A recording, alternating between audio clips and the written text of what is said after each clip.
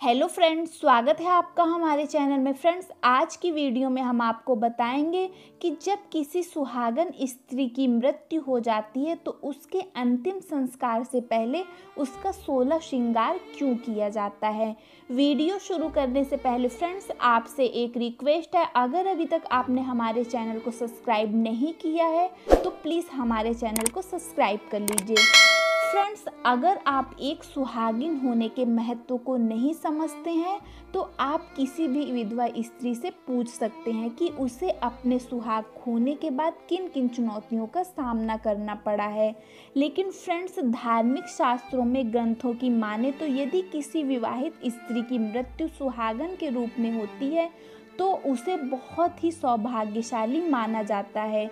इसीलिए फ्रेंड्स, आपने भी देखा होगा कि एक सुहागन स्त्री की मृत्यु हो जाने के बाद उसके शव को सोलह श्रृंगार से सुजद्दित करके ही विदा किया जाता है। फ्रेंड्स, यह तो थी सौभाग्य की बात, लेकिन फ्रेंड्स, क्या आपने कभी सोचा है ऐसा करने के पीछे का वास्तविक और धार्मिक कारण क्या है?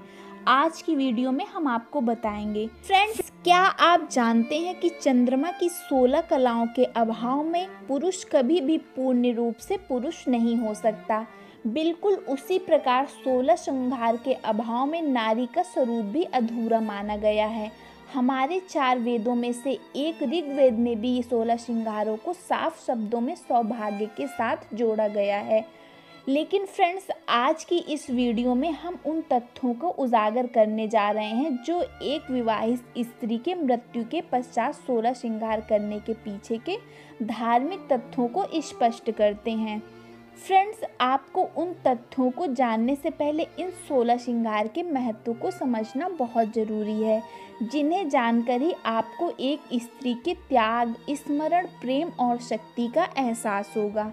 तो फ्रेंड्स आइए जानते हैं इनके महत्व को पुरानी कथा के माध्यम से। फ्रेंड्स राजकुमारी सीता के विवाह के अवसर पर उनका श्रृंगार किया जा रहा था।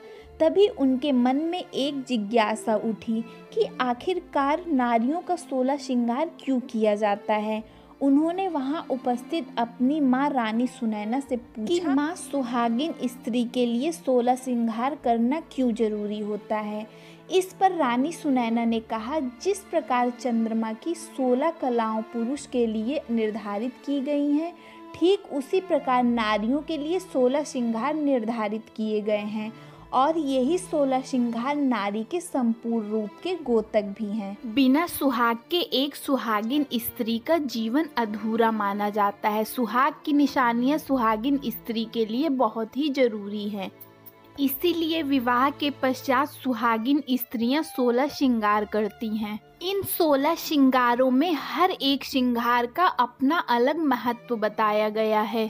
फ्रेंड्स, इन्हीं महत्वों को ध्यान में रखते हुए एक विवाहित स्त्री की मृत्यु के पश्चात उसका इन सभी सोलह आभूषणों से श्रृंगार किया जाता है, ताकि उसे अगले जन्म में भी सुहागिन ही मृत्यु होने का सौभाग्य प्राप्त हो सके। फ्रेंड्स हिंदू समाज में महिलाओं को लेकर कई गुण बातें कही गई हैं, लेकिन केवल धार्मिक दृष्टिकोण से ही नहीं, बल्कि वैज्ञानिक दृष्टिकोण से भी देखें तो इन सोलह श्रृंगार का अपना महत्व बताया गया है, जो आपके स्वास्थ्य के लिए लाभकारी होता है। तो फ्रेंड्स उम्मीद करते हैं आप ये समझ गए होंगे कि सुहागिन स्त्री की मृत्यु हो जाने पर उसका सोलह श्रृंगार क्यों किया जाता है।